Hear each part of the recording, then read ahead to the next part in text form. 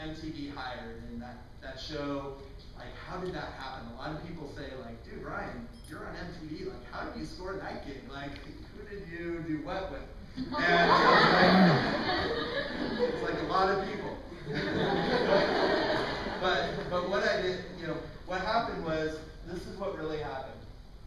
A, uh, a producer in New York found out about University Dreams and he had this show idea, and this was his idea. It was a show called First Real Job, and I actually brought this with me. Uh, this is actually his his pitch that he had. It's just two pages.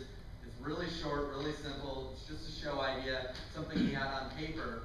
And University Dreams believed in it, and I believed in it, and told him, hey, you know, however I can help out, let me know. And so he ended up coming out to Los Angeles, and we started filming the show.